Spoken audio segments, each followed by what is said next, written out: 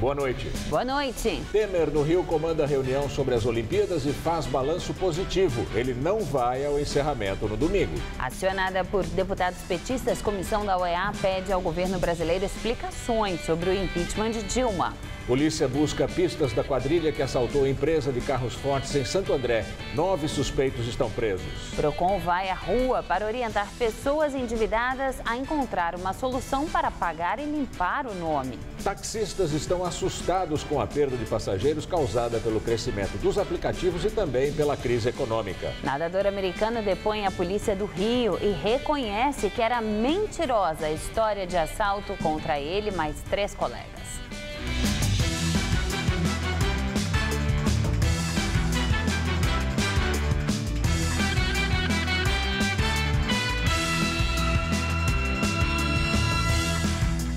A polícia busca novas pistas para prender todos os criminosos que participaram do assalto à empresa de transporte de valores Protege, em Santo André. Até agora, nove suspeitos foram presos, mas a polícia acredita que mais de 30 homens tenham participado da ação. Os nove suspeitos de integrarem a quadrilha que tentou assaltar uma unidade da Protege em Santo André, no ABC Paulista, foram transferidos hoje de manhã do DENARC, Departamento Estadual de Prevenção e Repressão ao Narcotráfico em São Paulo, para o Fórum de Itapecerica da Serra. De três em três, foram colocados nas viaturas da polícia. Aqui no Fórum de Itapecerica da Serra, os suspeitos participam de uma audiência de custódia, já que foram presos em flagrante. Eles foram apresentados ao juiz, que vai analisar o pedido de prisão.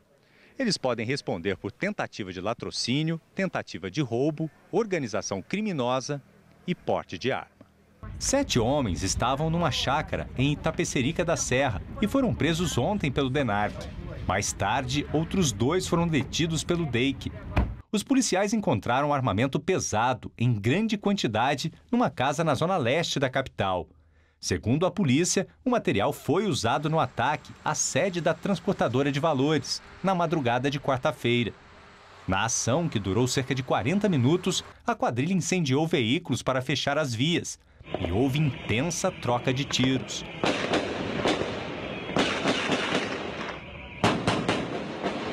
Um vigilante da Protege ficou ferido. Os assaltantes fugiram sem roubar o dinheiro. Este foi o quarto ataque a empresas de transporte de valores só este ano no estado. No fim da tarde, o juiz Fábio Pando de Matos converteu a prisão em flagrante para preventiva. Assim, os nove suspeitos devem ficar presos por tempo indeterminado. À tarde, integrantes da Força Tarefa que investiga a tentativa de assalto à Protege deram detalhes sobre as prisões e o armamento pesado apreendido. Uma conta d'água encontrada num dos carros dos criminosos levou a polícia a casa na Vila Alpina, na zona leste da capital, onde estavam as armas. Foram 25 fuzis apreendidos, entre eles dois dos mais potentes do mundo, que derrubam até avião. O ponto .50, que consegue atravessar, por exemplo, um carro forte. A munição, segundo a polícia, veio do exército de Israel. Já a origem das armas, pistolas e fuzis como a K-47 ou a R-15 e ainda a granada, dinamite e coletes à prova de bala, ainda será investigada. O material encontrado numa casa na zona leste de São Paulo possivelmente também foi usado em outros ataques a transportadoras de valores. Mas a polícia tenta desvendar como funciona a articulação entre criminosos de diferentes quadrilhas. É que as quadrilhas elas interagem entre, entre si. Três, quatro, cinco, seis integrantes de uma quadrilha às vezes praticam o delito com outra quadrilha. Eles vão se misturando, fazem um consórcio. Então é difícil a gente limitar tem 10, 15, 20 grupos fazendo isso. Por enquanto, a polícia diz que a facção criminosa PCC não aparece nas investigações, mas há outros bandos que já foram identificados. A polícia acredita e também apura que alguém de dentro da empresa passa informações para os bandidos.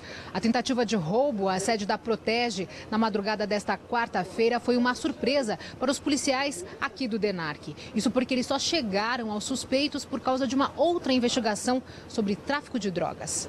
Quando soubemos que o alvo da investigação tinha se movimentado, nós nos dirigimos a uma metalúrgica que nós sabíamos que ele tinha passado por ali, perto de Suzano, e lá nós obtivemos as informações sobre o, o sítio em, em Itapecerica da Serra.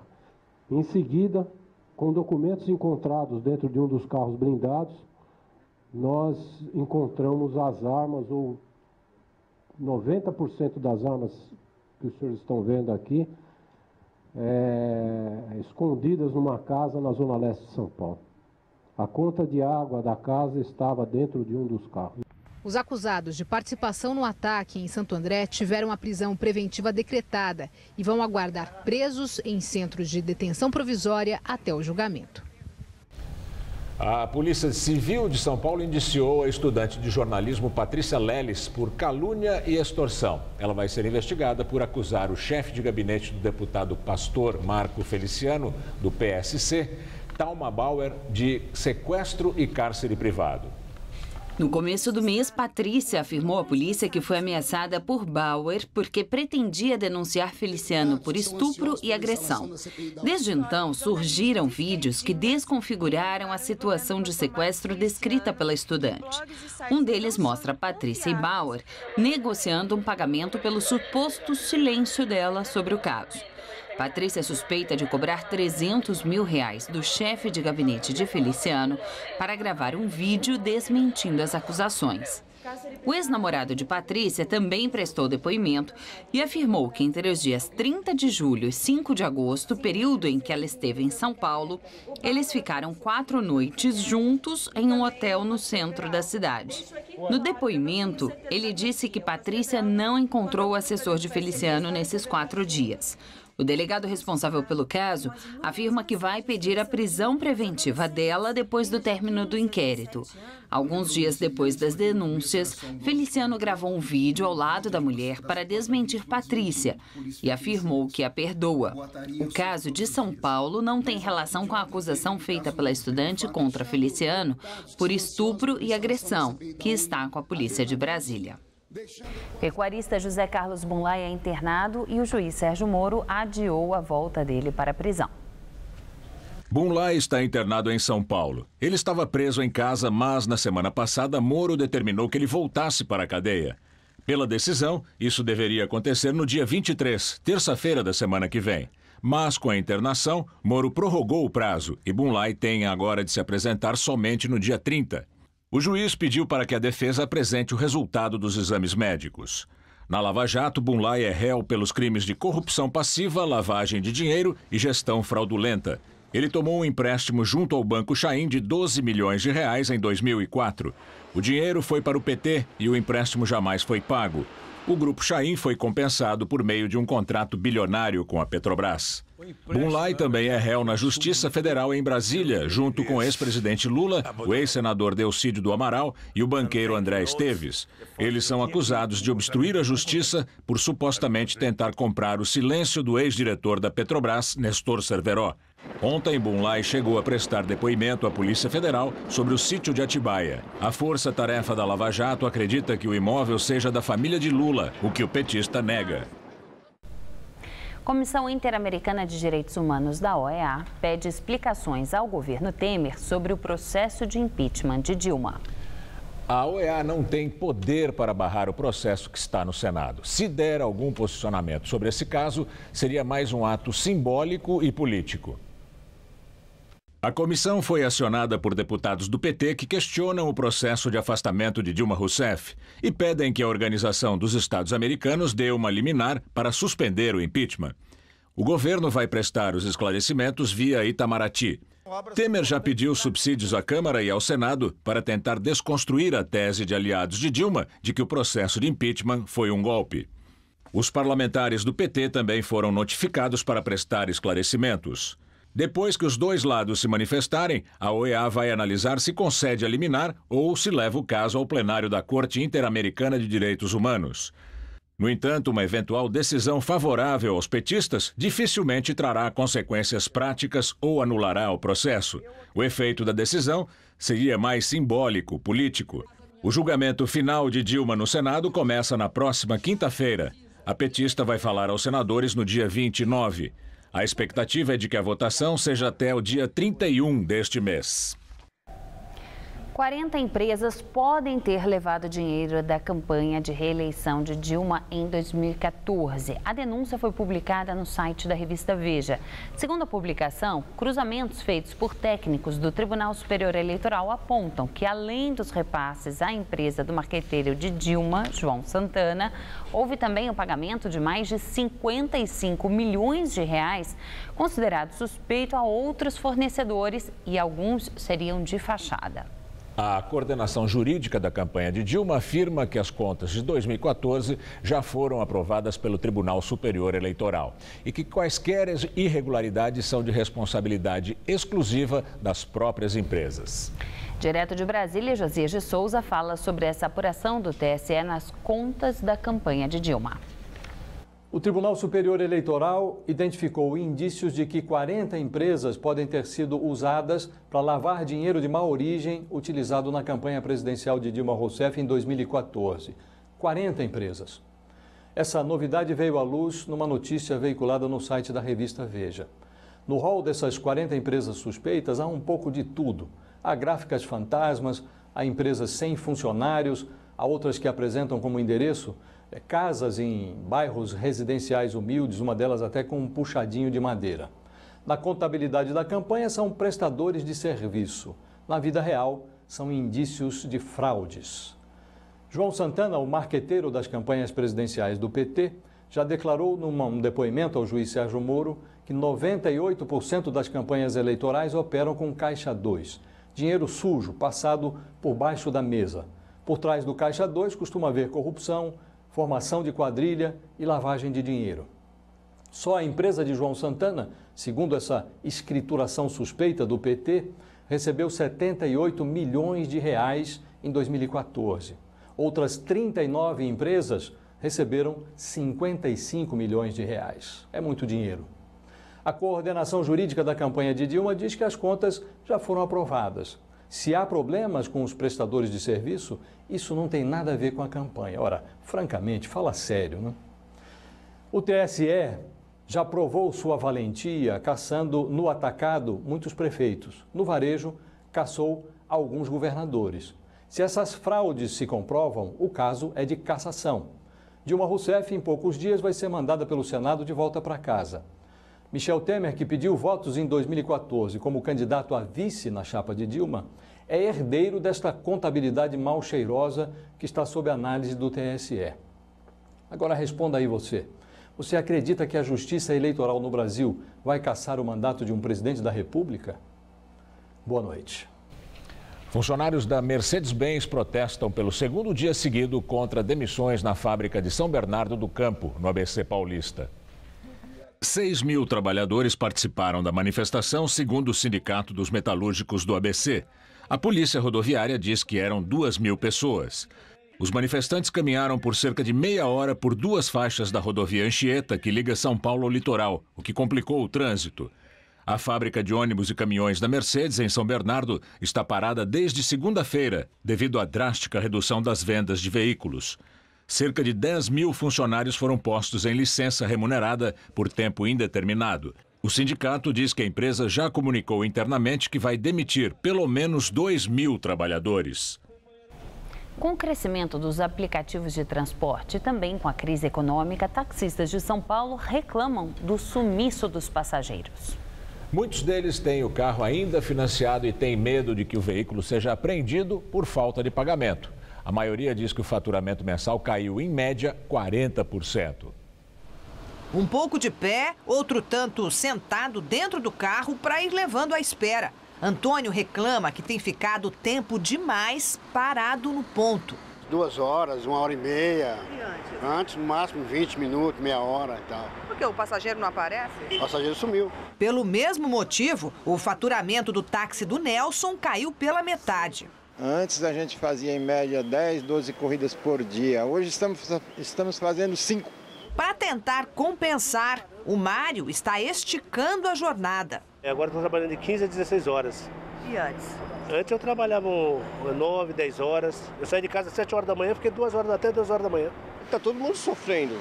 A gente está trabalhando 5, 6 horas a mais para fazer 50, 70% a menos do que a gente fazia. É, tem sido bem diferente daquilo que Daniel esperava quando trocou o táxi comum pelo preto. A categoria mais luxuosa foi criada para competir com o Uber Black, quando o serviço ainda era considerado clandestino. Dos 5 mil alvarás sorteados pela prefeitura no fim do ano passado, só metade está rodando. Daniel se queixa das dívidas com o financiamento do carro e da licença do táxi, que custou 60 mil reais. Prestações que estão atrasadas. Não tem como pagar, moço. Como que vai pagar se você não fatura? Para o usuário que migrou para serviços como Uber, a vantagem do concorrente é quase imbatível. Normalmente, assim, está sendo uns 40% mais barato, dependendo do trajeto, até metade do preço. Vale muito a pena. Você deixou de pegar táxi? Eu deixei. Um dos sindicatos que representam a categoria lançou no começo do mês uma campanha para garantir ao passageiro 30% de desconto na corrida. O taxista precisa aderir e colar no vidro do carro um adesivo com esse anúncio. Alguns aplicativos de táxi também já oferecem desconto. A ideia é baixar o preço para conseguir competir. O representante da cooperativa que atua no aeroporto de Congonhas, onde o movimento também caiu pela metade, diz que a categoria já discute abrir mão das taxas adicionais. Ou, por exemplo, é, marca chamada é, corrida com hora marcada, é, porta, uso de porta-mala, que tem uma taxa, tem por lei, a gente pode cobrar, a gente está discutindo para tirar isso. Isso também é uma redução. A gente está discutindo também é, fora de município, não ter aquele retorno de 50% que é hoje, hoje tem essa possibilidade. Então está sendo discutido isso. Então nós estamos procurando, como categoria, é, entrar no mercado, se equacionar e se adaptar à nova realidade econômica hoje. O Procon faz um mutirão e oferece atendimento especial a pessoas que querem renegociar dívidas. O objetivo da entidade é ampliar os atendimentos até o final do ano. Nesse mutirão, na região central de São Paulo, a média das dívidas é de 25 mil reais. O cartão de crédito ainda é o vilão dos consumidores. Segundo a FEComércio de São Paulo, ele é responsável pelas dívidas de 71% dos paulistas. O pessoa que nos procura, geralmente, ele tem dois, três cartões de crédito. Já conseguimos uma vez atender uma pessoa com 26 cartões de crédito. A taxa de juros do cartão de crédito é bastante elevada, uma vez que a pessoa se perdeu ali, fica muito difícil ela se recompor. Mais um mutirão como esse vai ser realizado nos dias 30 e 31 de agosto e também no dia 1 de setembro, esse na Câmara Municipal de São Paulo. A ideia é organizar outros dois no próximo mês em Paraisópolis, na zona sul da cidade e na Assembleia Legislativa do Estado. O indicador de atividade econômica da Serasa Experience, chamado de PIB mensal, tem o pior primeiro semestre desde 1991. Os números divulgados hoje mostram que nos primeiros seis meses do ano, o PIB fechou em queda de 4,3% em relação ao mesmo período do ano passado. Em junho, o PIB mensal apresentou um recuo de 3,2% na comparação com junho do ano passado.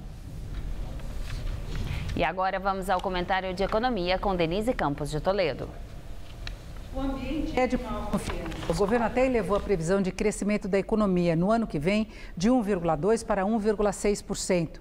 Tem analistas de mercado trabalhando com números ainda melhores, mas a realidade mostra que ainda estamos em uma das maiores crises da história, com consequências sérias do ponto de vista social, como o desemprego, que continua em alta, até na indústria, que começa a dar os primeiros sinais de alguma reação. Para que as projeções mais otimistas se confirmem, o governo terá de avançar com tudo o que vem propondo, especialmente o ajuste das contas públicas. E não é só isso. Tem também a aceleração das concessões e privatizações, que além de representarem mais investimentos, ainda podem assegurar uma geração importante de receita, ajudando no ajuste fiscal. Tem inflação, que precisa ter uma queda efetiva para dar condições de o Banco Central reduzir os juros, que são uma outra trava importante para a atividade econômica, e é preciso agir rápido. Por enquanto, ainda tem a questão da interinidade, mas a partir de setembro, definido o quadro político, o governo terá de agilizar todas as iniciativas e mostrar mais força política. Terá pela frente grandes desafios. Pontos centrais do ajuste das contas públicas já geram resistência. O governo vai apresentar a proposta orçamentária do ano que vem, considerando o limite de ampliação de gastos com base na inflação do ano anterior, ou seja, inflação deste ano. Mas e os estados vão se enquadrar? O governo já fez várias concessões na renegociação das dívidas e estados do norte e do nordeste agora, menos beneficiados, ainda esperam um importante aporte de recursos. Há resistência também na inclusão de saúde e educação nesse limite de gastos. Só que fora a resistência em relação às propostas, a agenda política também pode não ajudar muito.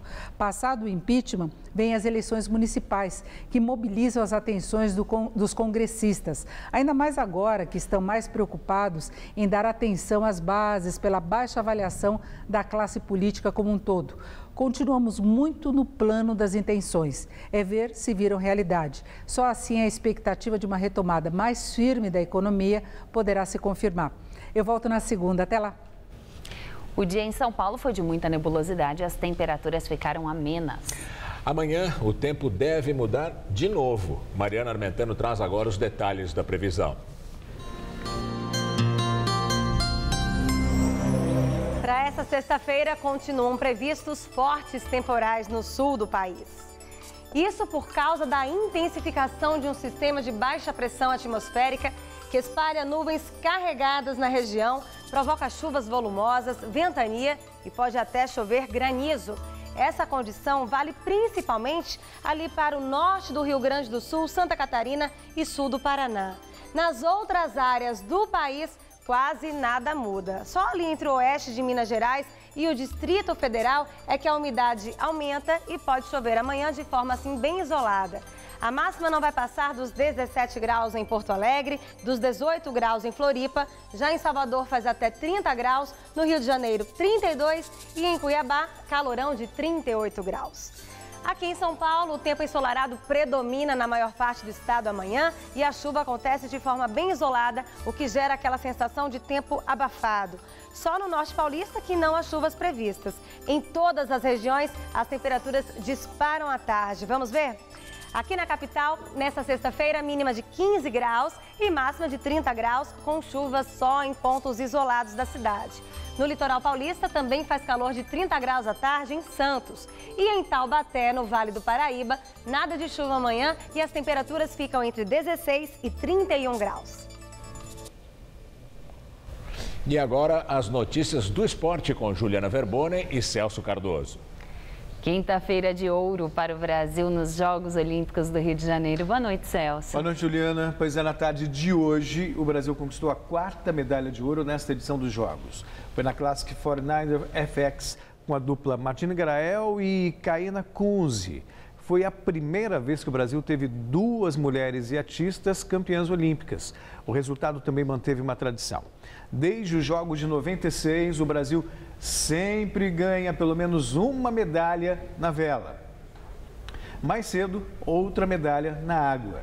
Isaquias Queiroz ficou com bronze na canoagem, categoria C1 200 metros, e se tornou um dos cinco brasileiros na história a conquistarem duas medalhas numa mesma Olimpíada. Acompanhe os destaques desta quinta-feira na Rio 16.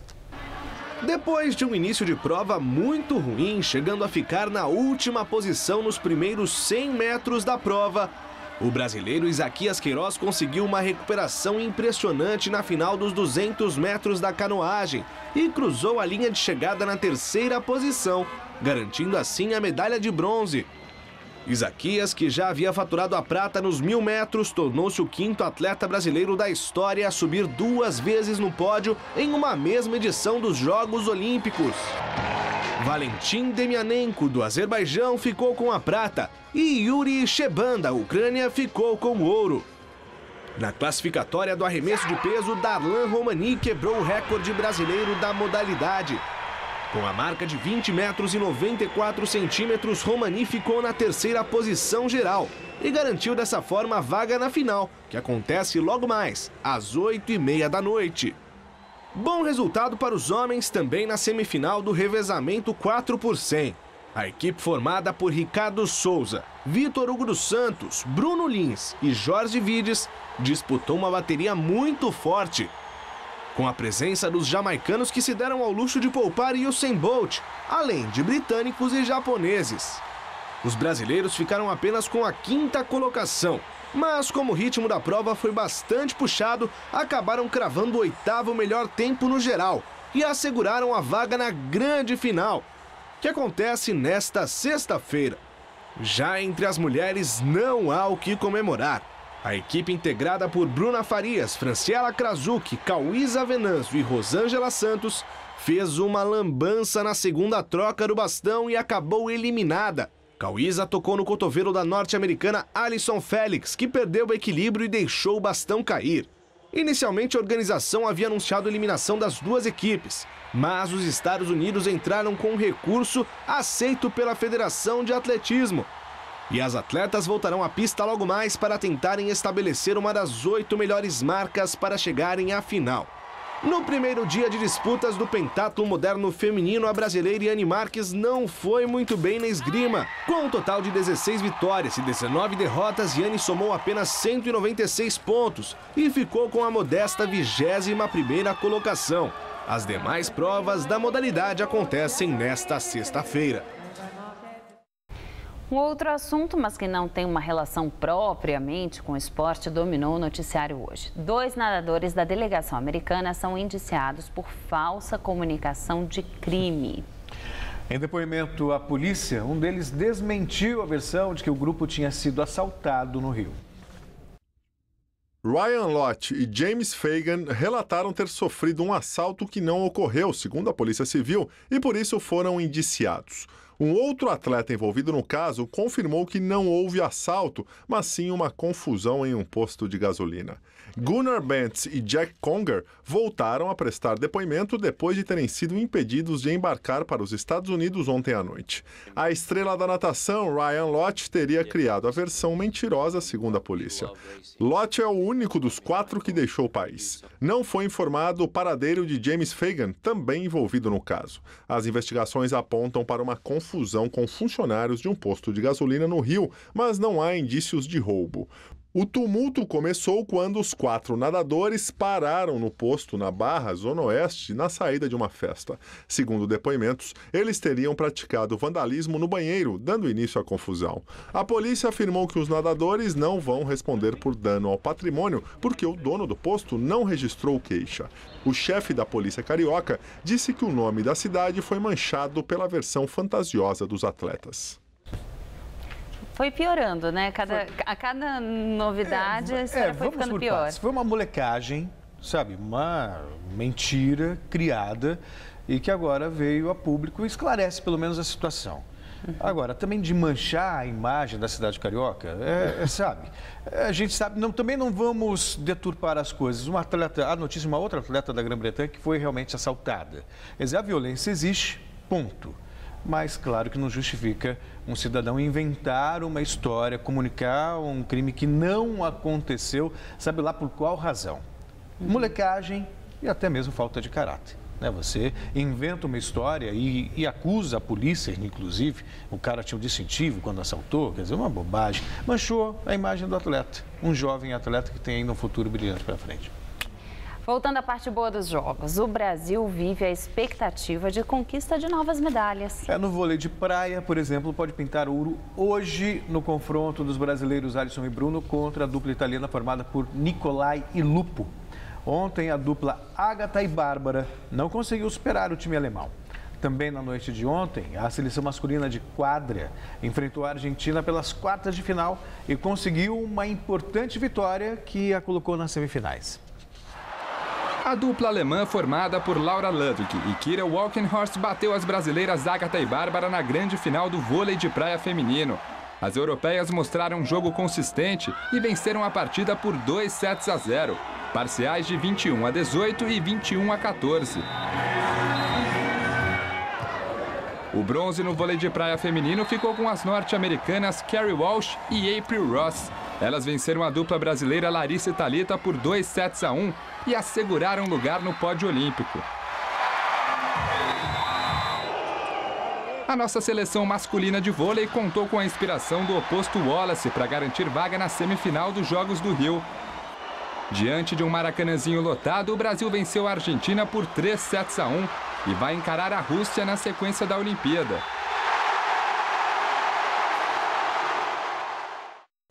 Esse jogo foi sofrido, jogadores machucados. Pois é, é essa seleção agora? do Bernardinho está indo aos trancos e barrancos. Está no sufoco. Né? Ironia, né? A feminina fez uma primeira fase tão boa, caiu no primeiro jogo eliminatório. Já a do Bernardinho está evoluindo.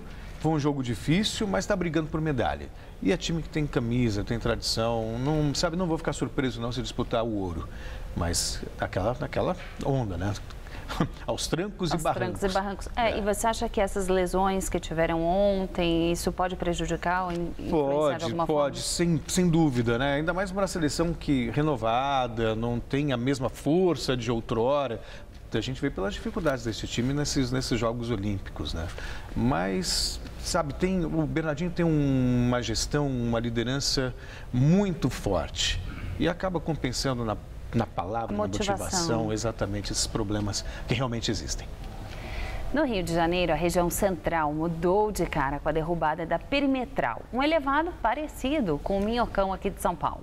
Com o espaço aberto para as pessoas, a Praça Mauá se transformou em um dos principais atrativos da cidade durante os Jogos Olímpicos. Quem conta essa história é a nossa bike repórter Renata Falzoni. A sua reinauguração, a Praça Mauá, aqui no centro do Rio de Janeiro, fica lotada, tanto de cariocas quanto de turistas, aproveitando o espaço livre de carros. Fantástico, uma transformação total aqui na cidade. Achei muito bacana e a alegria que está nas Olimpíadas também está fantástica. Está sendo cuidado, as pessoas estão aproveitando bastante, estão cuidando bem. Isso aqui é uma conquista. Aqui a gente tem várias tribos, né? Tem pessoas de várias nacionalidades, de outros estados. A densidade é tão grande que por vezes o VLT deixa de circular. E os artistas de rua fazem daqui o seu palco. Esse é o verdadeiro Santos Dumont, espírito brasileiro aqui em plena Praça Mauá. Eu acho muito importante a gente fazer um resgate da nossa cultura. Na época dele, ele colocou a gente numa tecnologia de ponta, que eu acho que é uma das coisas mais importantes de uma grande nação. Sério, Santos Dumont? Vamos lá! A estátua do Barão de Mauá ficava debaixo do elevado. Outras atrações na praça são o Museu de Arte do Rio e o Museu do Amanhã. Muito boa, muito boa. Dá, dá, dá, dá chance da pessoa poder ver o que pertence à pessoa, porque pertence aos carioca, pertence ao mundo todo. Uma cidade que era usada só dia útil, com certeza vai ser usada no final de semana, vai ter uma outra vida aqui que não tinha, que é... vai ser muito bom para a cidade. Amanhã tem mais é, Rio. É, quem sabe com mais um ouro. Tomara. Boa noite, Juliana. Boa noite, Celso Gamberini. O presidente interino Michel Temer visitou o Parque Olímpico no Rio de Janeiro. Também estiveram presentes vários ministros, como José Serra, das Relações Exteriores, Alexandre de Moraes, da Justiça, o governador licenciado do Rio, Luiz Fernando Pezão, o prefeito do Rio, Eduardo Paes, os dois do PMDB e também o presidente do Comitê Olímpico Brasileiro, Carlos Arthur Nusma. O presidente do Senado, Renan Calheiros, também participou do evento e desmarcou uma reunião com Dilma. O presidente interino disse que o Brasil fez bonito na Olimpíada. Temer, que foi vaiado na abertura do evento, não vai participar do encerramento, mas disse aos jornalistas que vai à abertura das Paralimpíadas. Foi lançada recentemente a biografia oficial da escritora Carolina Maria de Jesus, falecida há quase 40 anos. Mas se você não a conhece, não está sozinho. Foi justamente a pouca popularidade dessa mulher, pobre, negra, que usou a vida na favela de inspiração para escrever, que motivou os autores a fazerem o livro. Carolina Maria de Jesus é o nome de uma rua na zona leste de São Paulo. Quem foi Carolina Maria de Jesus? E você me pegou. E quem foi essa mulher que dá nome à rua? Ai, afinal, não, não conheço, não lembro, né? Do meu tempo, né? Se aqui é apenas uma referência geográfica de onde fica o Bar do Raimundo, na literatura, Carolina está num outro patamar de reconhecimento. Com livros traduzidos para 13 idiomas, passou a marca de um milhão de cópias vendidas em mais de 40 países e conquistou os estrangeiros graças a relatos como este. Hoje não temos nada para comer. Queria convidar os filhos para suicidar-nos. Desisti. Olhei meus filhos e fiquei com dó. Eles estão cheios de vida. Quem vive precisa comer. Fiquei nervosa, pensando: será que Deus esqueceu-me? Será que ele ficou de mal comigo? O trecho é do livro Quarto de Despejo, Diário de uma Favelada, publicado em 1960, e que emocionou os alunos da professora Sirlene. Adolescentes falam, é normal, né? E eu iniciava a leitura e eu percebia o, sil o silêncio acontecendo. E até de aquele menino, a menina que mais atrapalhava, de. Tô ouvindo. Só que apesar do sucesso, os textos de Carolina estão pouco disponíveis, pelo menos nas escolas da periferia de São Paulo. Foi depois de saber disso e de descobrir que nem os próprios colegas professores sabiam quem era a autora que Sirlene decidiu contar para todo mundo a história da semi-analfabeta, catadora de papel, que escreveu mais de 5 mil páginas com o que achava no lixo. E juntos, ela e o quadrinista João Pinheiro fizeram nascer essa biografia em quadrinhos, que acaba de sair. É bem atraente para os jovens, porque é uma, é uma linguagem popular e, e, e imediata. Assim. Então, para quem quer ler Carolina, mas não tem como, não encontra, você consegue pegar agora a HQ. Para essa biografia nascer, foram três anos de muita pesquisa, entrevistas, viagens e nos bastidores, uma história de luta, resistência enfrentada ali ó, pelos autores. É que Carolina foi recusada por várias editoras até ser premiada e receber o patrocínio de um programa público de cultura aqui de São Paulo. E a mulher negra, moradora de favela, mãe solteira, que enfrentou tudo e todos em vida, vence mais essa batalha, mesmo que postumamente. Em desenhos, discriminação, fome e aqueles momentos mágicos da vida. O dia, por exemplo, em que um jornalista que fazia uma reportagem na favela do Canindé, hoje estádio da Portuguesa, descobriu a moradora escritora. Um encontro que virou história, agora marcada nas páginas da biografia oficial. Toda vez que eu, eu inicio a obra, eu vou, eu chego no final, eu olho para o final e eu fico realmente emocionada, pensando mesmo é, como que ela receberia esta obra, sabe? É, porque a gente fez de verdade para ela.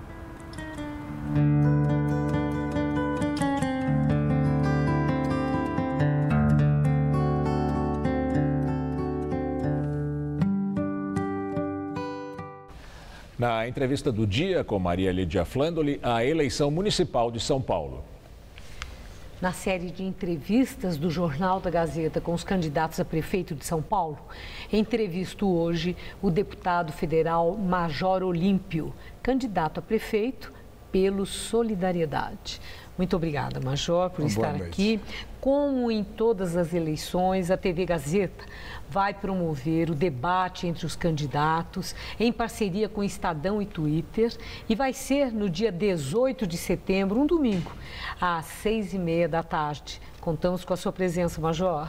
Nós estaremos presentes aí, eu tenho certeza absoluta que esses debates nessa eleição farão a grande diferença, que é aonde o telespectador vai ter a verdadeira opção para conhecer os programas, as propostas. Nós tivemos uma mudança muito significativa na legislação eleitoral. E é sobre isso que eu quero começar falando com o senhor, é, pela seguinte razão. O Solidariedade optou por candidatura própria.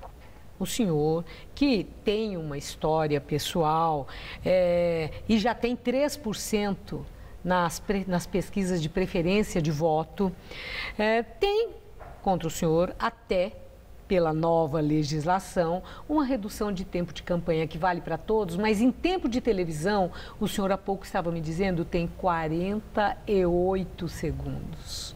E eu quero começar por aí, Major. O senhor conta com a força sindical para compensar essa situação desvantajosa para dar seu recado para o eleitor? Eu conto com todos os segmentos e eu conto principalmente com o momento que a sociedade brasileira está vivendo dizendo: basta, chega, não quero mais, eu quero alternativa em relação ao que nós temos na política, basta da mesmice. E não adianta ter quatro minutos de televisão e não ter uma mensagem, ou ter uma mensagem muito ruim por trás de si. O meu partido, nós estamos saindo com a chapa pura, com menos tempo de televisão, e é preciso que o telespectador entenda. Sabe por que, que nós não temos mais, muito mais partidos juntos? Porque nós não temos moeda de troca. Sabe o que é moeda de troca? É você oferecer uma secretaria, é você oferecer barganha para você ter partidos para aumentar o tempo de televisão. E sabe por que isso? Porque quando a legislação mudou agora, acabando com o financiamento privado por pessoa jurídica, não dá mais para as grandes empreiteiras, os grandes fornecedores do Estado. Essa vergonha que nós assistimos em relação à Petrobras, afastamos uma presidente, mas o caso não é único, não, gente. Há de se entender, 16 empresas que são é, investigadas na Lava Jato, elas fornecem serviços, fazem obras aqui no estado de São Paulo, para a prefeitura de São Paulo. As delações aí do João Santana estão dando claras mostras, como hoje o jornal daqui mesmo repercutiu, de empresas fantasmas, milhões de reais, fizeram as campanhas da Dilma, fizeram as campanhas do Haddad aqui em São Paulo. Tem candidato é, a prefeito que na delação do João Santana já está dizendo lá em Odebrecht, dizendo, eu dei 500 mil reais. Para quem? Marta Suplicy. Está dizendo, olha, mas a minha prestação de campanha ela está certinha em relação à justiça eleitoral.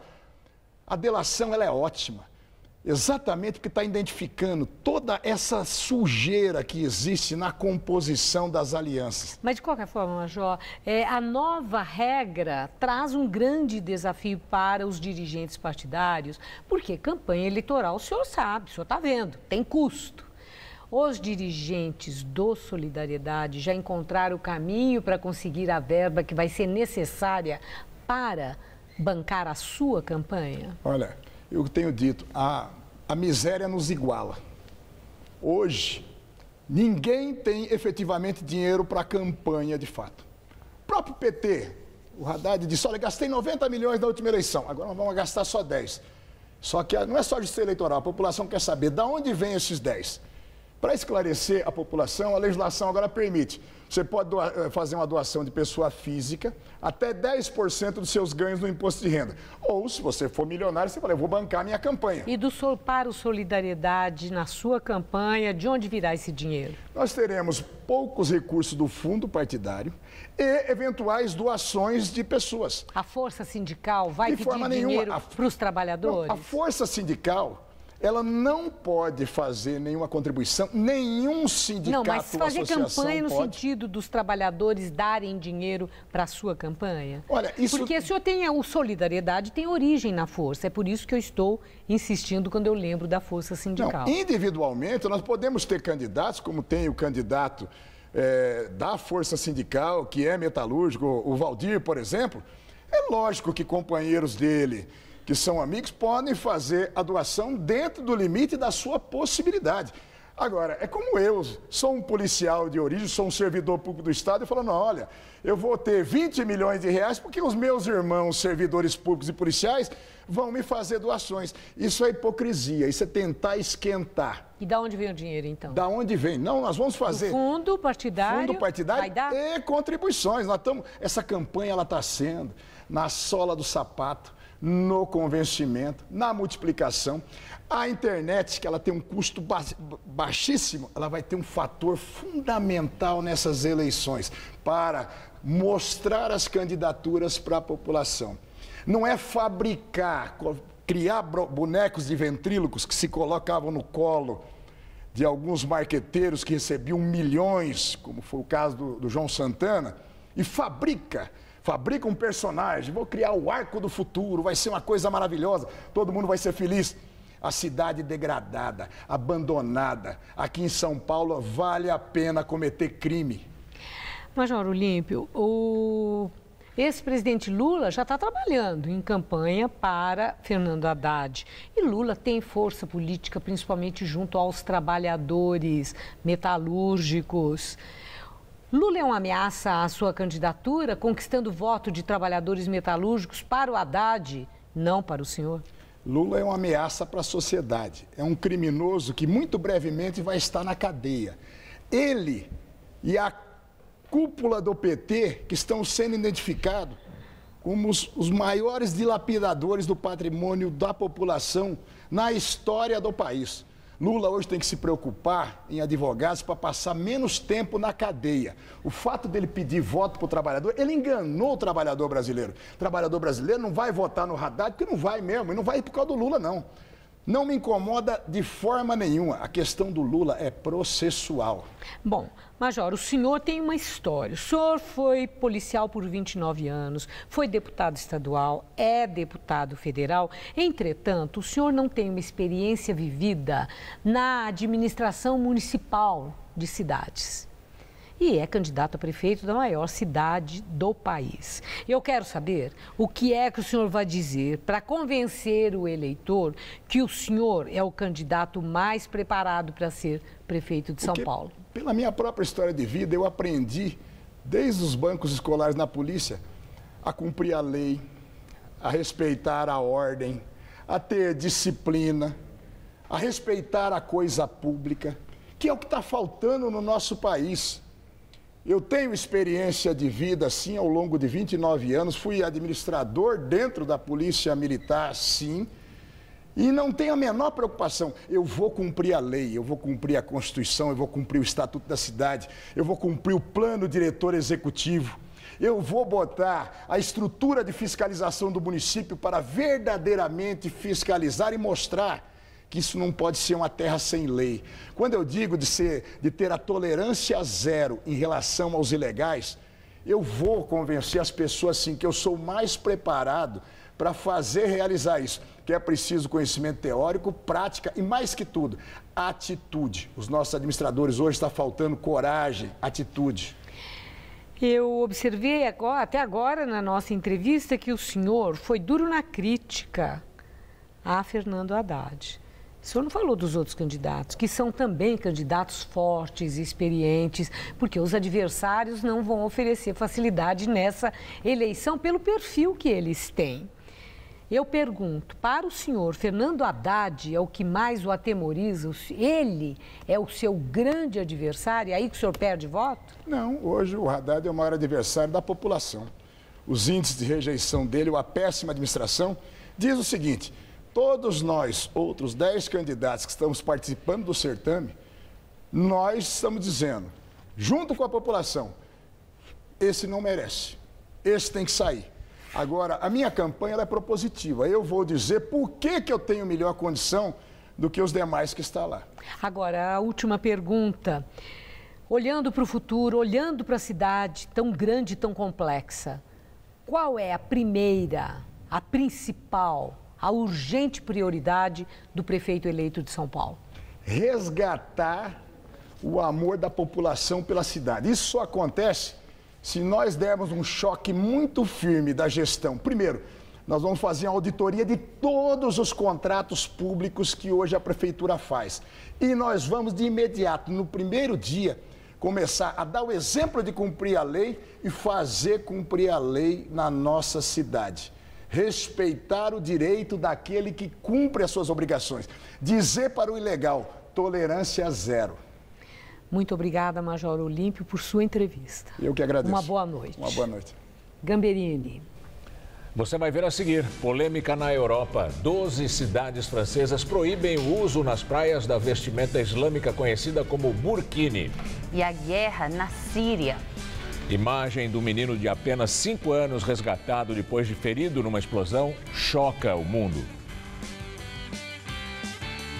Quando esses portões se abrem, pode ter certeza. Vem aí uma grande oportunidade. Feirão Outlet Chevrolet na fábrica da GM. São as últimas unidades de Onix e Prisma 2016 com taxa zero em 36 vezes e um excelente preço. Onix, só 36.990. Prisma, agora com câmbio automático grátis. Tudo isso em 36 vezes sem juros. É preço de Outlet com as condições imperdíveis de feirão. Feirão Outlet Chevrolet na fábrica da GM.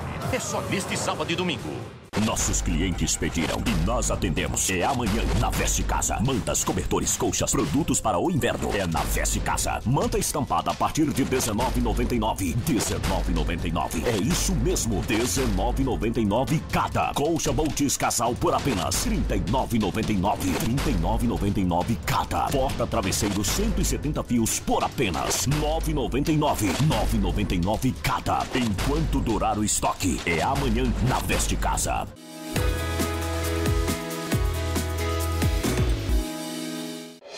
Tudo anda cada vez mais rápido. O tempo, as pessoas, as tecnologias.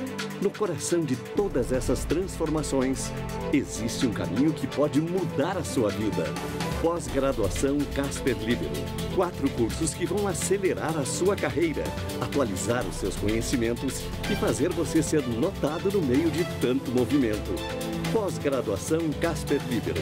Paixão por comunicação.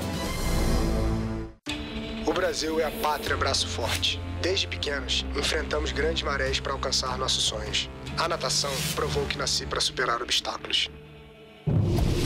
Porque brasileiro sabe que sem sacrifício não há vitória. Os desafios se tornam mais fáceis quando lembro que não estou só. Que a cada abraçada que dou, milhões de brasileiros dão outra. Juntos somos uma legião de campeões. Juntos somos todos Brasil. Acesse brasil2016.gov.br e conheça as ações para os Jogos Rio 2016.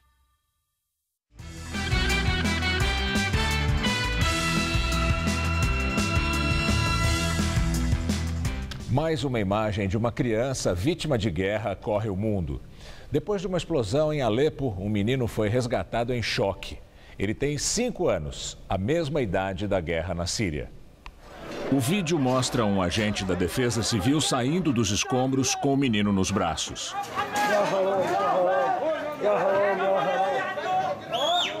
O nome do garoto é Omran. Sentado na ambulância, ele não chora, só olha em volta. Passa a mão no rosto machucado. Olha para o sangue e limpa a mão no assento. Omran foi retirado dos escombros junto com três irmãos, a mãe e o pai. O prédio desmoronou uma hora depois do resgate. O cinegrafista que registrou a cena contou que esse horror se repete todos os dias em Alepo. Omran já saiu do hospital. Ele, os pais e os irmãos estão agora com a família numa outra cidade. Já são 12 os municípios franceses que proibiram o uso nas praias da vestimenta islâmica conhecida como burkini. A proibição tem o apoio do primeiro-ministro Manuel Valls. Ele disse que o burkini não é compatível com os valores franceses. Valls declarou que as praias do, da França, como qualquer espaço público, precisam estar livres de qualquer reivindicação religiosa. Para o primeiro-ministro socialista, o burkini não é uma moda, mas a tradução de um projeto político baseado principalmente na submissão da mulher. E agora vamos ao comentário de política internacional com João Batista Natali. Pois nunca se perdeu tanto tempo com uma coisa tão insignificante quanto o burkini. Para quem ainda não sabe, o burkini é uma roupa que cobre todo o corpo da mulher muçulmana que vai para a praia. O assunto começou em Marsella, no sul da França. Foi no final de julho. Foi organizado um dia do burkini num parque público. Em seguida, os 12 prefeitos franceses baixaram decretos proibindo o burkini nas praias das cidades deles. A maior dessas cidades foi Cannes, onde a proibição teve o apoio da justiça. E vejam que curioso: ninguém pode dizer que a mulher que esconde todo o corpo é imoral ou indecente. Sobretudo nessa região de a França, onde se pratica há 45 anos o topless, que é o biquíni sem a parte de cima. O que está em jogo é uma outra questão. A mulher que, cobre, que, se cobre da cabeça aos pés e deixa só o rosto de fora está reiterando uma identidade religiosa. É como se ela dissesse que ela é diferente. Acontece que há mais de dois séculos a França se reafirma como um país laico e republicano. E ser republicano é aceitar o princípio da igualdade. Não se pode ser diferente. Essa ideia agora é defendida por prefeitos da direita e da esquerda, mas no campo oposto estão defensores das liberdades individuais. Para, cada, para eles, cada um tem o direito de se vestir como quiser. Essa divergência apareceu na França pela primeira vez há mais de 20 anos. O governo proibiu que garotos e garotas frequentassem a escola com a cabeça coberta.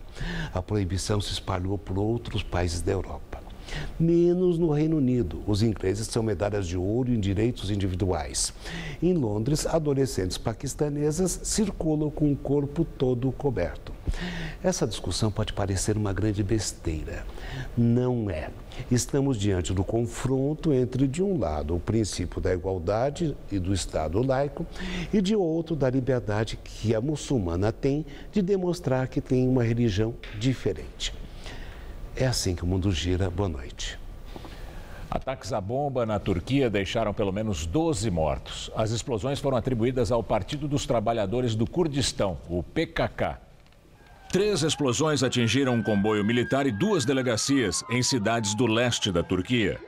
Dez membros das forças de segurança e dois civis morreram e mais de 200 pessoas ficaram feridas. No maior ataque, um carro-bomba explodiu na frente de uma delegacia na cidade de Elazig. Três policiais morreram e cerca de 170 pessoas ficaram feridas. O PKK luta pela autonomia curda há mais de 30 anos. Desde então, mais de 40 mil pessoas já morreram. A Turquia, os Estados Unidos e a União Europeia classificam o PKK como uma organização terrorista. O Jornal da Gazeta termina aqui. Essas foram nossas principais notícias. Temer no Rio comanda reunião sobre Olimpíadas e faz balanço positivo. Ele não vai ao encerramento no domingo. Acionada por deputados petistas, comissão da OEA pede ao governo brasileiro explicações sobre o impeachment de Dilma. A polícia busca pistas da quadrilha que assaltou a empresa de carros fortes em Santo André. Nove suspeitos já estão presos. Taxistas estão assustados com a perda de passageiros causada pelo crescimento de aplicativos e pela crise econômica. Nadador americano depõe a polícia do Rio e reconhece que era mentirosa a história de assalto contra ele e mais três colegas. A edição de hoje pode ser vista no site do Jornal da Gazeta. Mais notícias em nossa edição das 10. Uma boa noite para você. Boa noite e até amanhã.